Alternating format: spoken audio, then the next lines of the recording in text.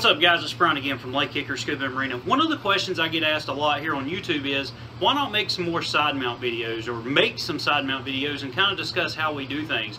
So that's what we're going to do now. I'm going to make a short video here for you and we're going to talk about cylinder trim in a side mount configuration, whether you're running a single cylinder or two independent cylinders throughout your side mount dive. Now, when we talk about cylinder trim, just like we want to be properly weighted and properly trimmed out in a back mount situation, we want to do the same thing in a side mount. We want to make sure we have the proper amount of weights. We want to make sure it's trimmed out or evenly dispersed across our body or our platform, if you will, so that we're horizontal in that water column. But we also need to take in consideration what type of cylinders we use, whether they're aluminum or steel cylinders, and we need to look at the buoyancy characteristics of those cylinders when they're empty. So when we do a proper weight check, whether it's side mount or back mount, we always want to do it with a nearly empty cylinder so that we can make sure that we can hold trim, hold buoyancy during a safety stop. So what I'm going to show you here is a video of me in a double side mount situation or two cylinders. I'm using aluminum 80s and they both have roughly around 500 psi in it. The first part of the clip, you're going to see that both cylinders are way out of trim, and I'm going to show you one at a time how I adjust the trim, and of course I'll commentate through the video to give you a little bit more explanation on what I'm doing. So take a quick look at these clips, and then I'll give you some final thoughts. Okay guys, uh, just quick, tell you what I got here. Two aluminum 80s, right and left, both at around 500 psi.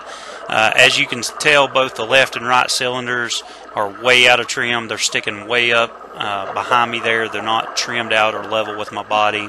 Uh, there's a left profile. Here's a right profile of it, just showing you that both cylinders are way, way out of trim. And this is a common thing with aluminum 80, 80s. If you dive them for side mount, uh, you'll have that problem as the cylinders uh, you know get low on air at the end of your dive they will start to float up like that. And there's several things that you can do to fix it.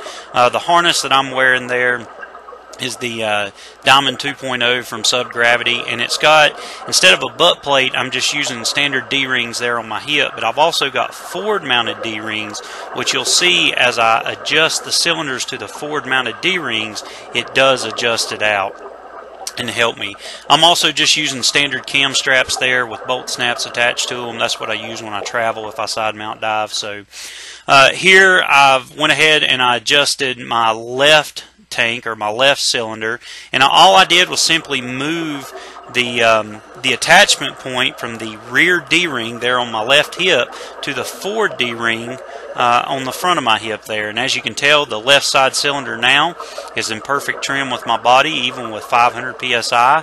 From this angle here, from the right profile, you'll see that the right cylinder is still out of trim, but my body has concealed that left cylinder because I've moved it back into trim. And like I said, all I did was simply unattach from the D-ring on my hip and reattach the bolt snap to the front or forward D-ring on my waist belt itself. So here's another profile view. This is from the right side. The right side cylinder is still out of trim. And then as I turn, you'll see that the left side cylinder has moved back into trim simply just by changing the attachment points.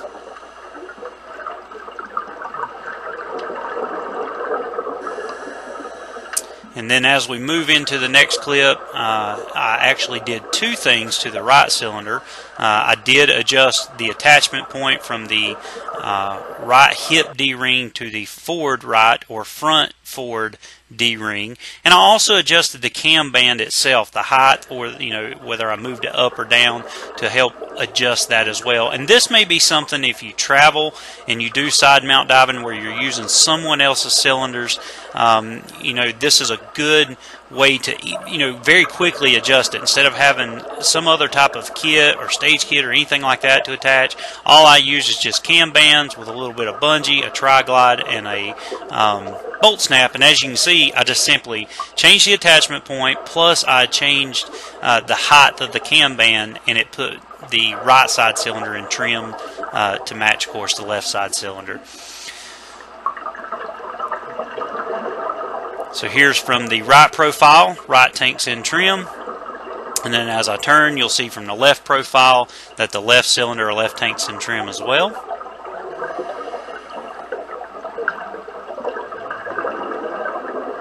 And all it takes is just a little bit of adjustment. Um, you know, I, I highly recommend always practicing a pool before you go to open water.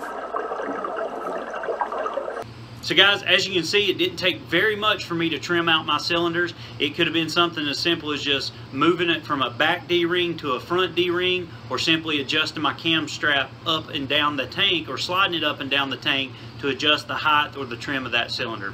Guys, I really appreciate you watching this video. If you got any questions on this video or any of the ones in the past, simply put it down in the comment section below. I'll try to answer it the best and as quickly as I can. Guys, as always, make sure you follow us on Instagram and Twitter, like us on Facebook, pin us on Pinterest, subscribe to us here on YouTube, and as always, guys, we appreciate your business.